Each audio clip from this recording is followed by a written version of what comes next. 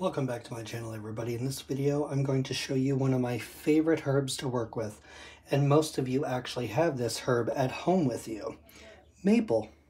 Maple blossoms specifically.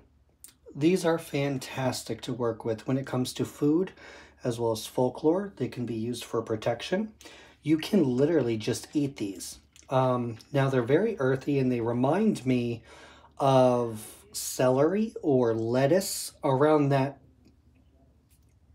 plant base. They're very earthy. Um, I actually like to cut these up and I like to actually put them on eggs.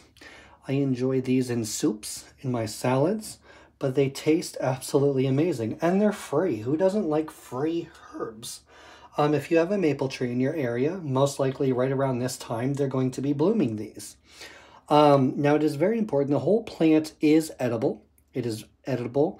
Um, but I like to actually split off and break pieces of it off to dry. It dries a lot more quickly. As you can see, I have a whole bunch here literally just drying out. Um, I have magical purposes, teas, cooking, and some to give away.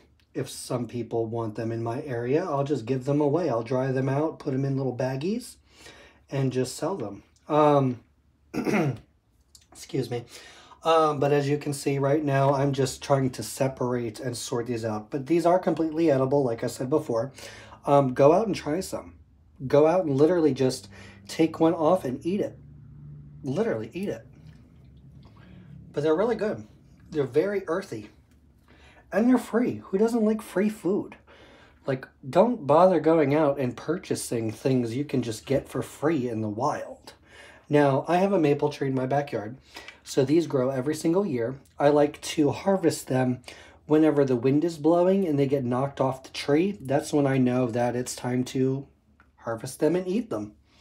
Um, if they stay on the tree for too long, they do blossom white flowers, but I don't like the taste of the flowers. I like the taste of the plant itself.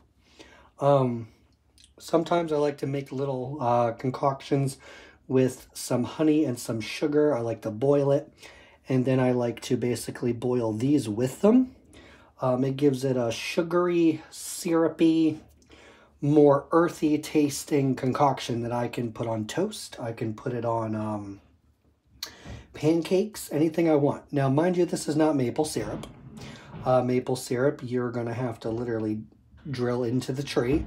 Um, but yeah, so I'm making this video just to showcase uh, some of the cherry, not cherry, I do apologize. I don't know where my mind is going. The ADHD is really kicking in. But the maple blossoms, as I call them. But yeah, they're really good. Go out and go try some right now. Go try some out. You can use them as an incense. Um, not really strong smelling, but very sweet smelling if you burn them. Um, but taste-wise, they're very earthy. Think of celery or lettuce. Go out and go try some.